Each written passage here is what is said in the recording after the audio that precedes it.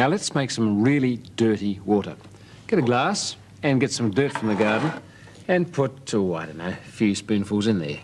That should do the job. And then top it up with clean water, like this. I think you must admit that that's pretty convincingly dirty water.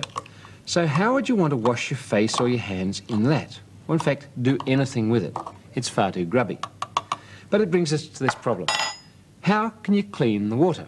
Well, there's several ways. You could boil it and distill it, but that's pretty difficult. Or you could tip it into a filter funnel and filter it all out. That's pretty difficult too.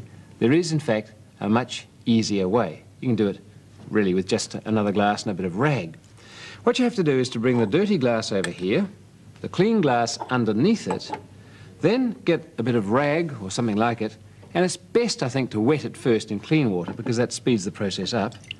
Wring it out, so you're not really cheating by getting lots of clean water there, and arrange it like a wick, which goes into the dirty water there, over the corner, and down into the clean glass.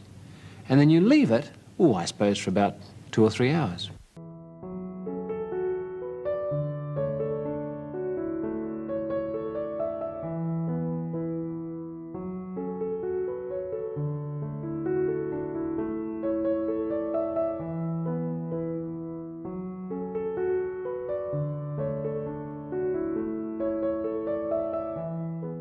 And that was even faster than I thought because it only took about one hour.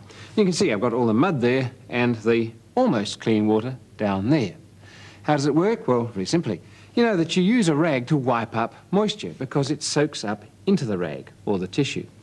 But it keeps on soaking, so that if you bend that rag round the corner, it'll soak down again and drip out the other end, and that's what it's done here. The thing is, those fibres of the rag are so closely spaced that all it will let up into it is the water. It leaves all the mud particles and the bits of stone and grass and stuff behind, except for the very smallest particles. So as it goes up there and down the other side, dripping out, it leaves you almost clean water. Well, it's not clean enough for me to want to drink it, because there might be a germ or two there, but it's clean enough for almost anything else, including washing your hands.